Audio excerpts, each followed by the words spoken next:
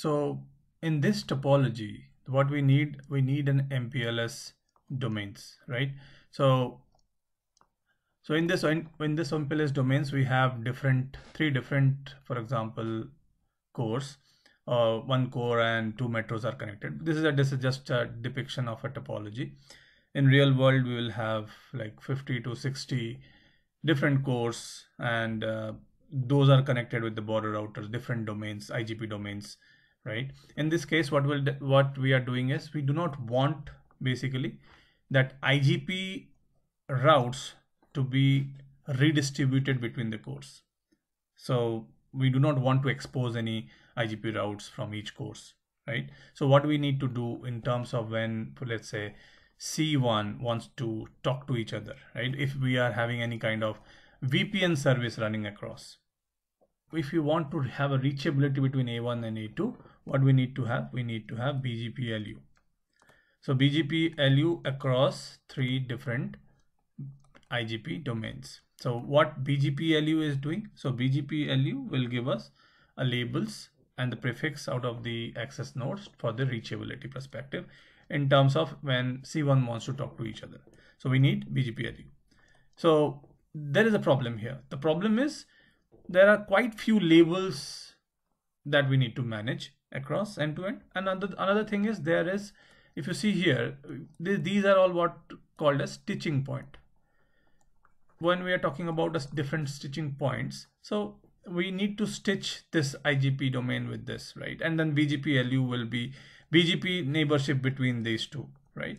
And then based on this BGP neighborship we'll have a label generated and we need we will have what one transport label on top of that we'll have a BGP LU label then we will have service label. So bottom label so this will be used for your interdomain intra area and then in order to cross between metro to core we will go with the bgplu label and then service end to end what kind of services like vpn services l2 or l3 services right? So now basically we will see that what how we can do with srv6 so when we are using srv6 we need to have isis version 6 which will be there different different IGP domains. We have again the same as different IGP domains. Earlier with MPLS case, we are using ISIS version 4 for V4 IPs and now we are using ISIS V6. So ISIS V6, three different rings. There is no redistribution. If there is no redistribution, then what will happen for the reachability perspective? So ISIS V6, what it does is it will inject a summary route between each other. So when they inject a summary route between each other, so basically reachability will be there from A1 to A2 perspective. So there is no label unicast required for reachability because in case of MPLS, when we do summarization, basically summarization will break MPLS. So we need always need slash 32 route in case of MPLS. But here in IPv6, what we can do, we are advertising the summarize route. So there is one problem with summary route. So for example, we are advertising summary route, right? So from Metro, whatever the routes are there in Metro B, we are advertising the summary. Whatever is there in core, we are advertising the summary. Similarly from this side as well, we'll have reachability.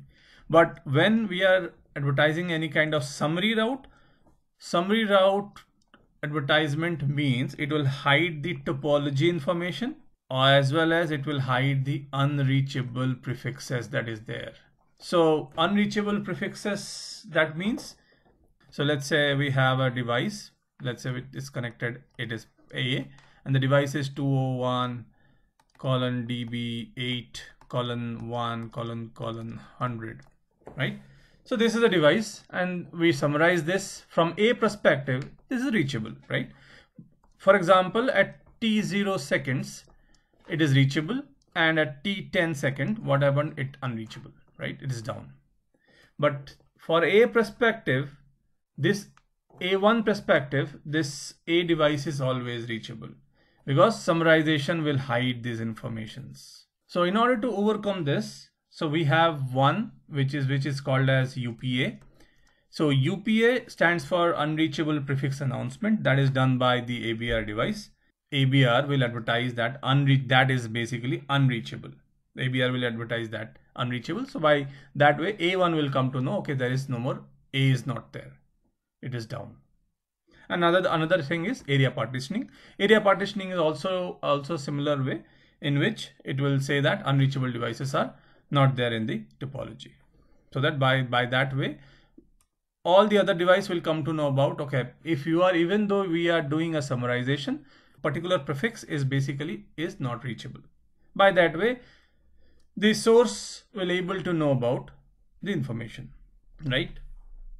So with SRv6, we still have different IGP islands, three different IGP islands are there and we are gluing together and just exchanging the summary route. But in case of MPLS, what we are doing, three different IGP islands, we are doing stitching, stitching over here. And based on this stitching, we need what? We need labels so end-to-end -end label should be there. That's the reason we should we need BGPLU. If you are talking about SRv6, we are only doing routing end-to-end. -end. On top of that also, we are running the services.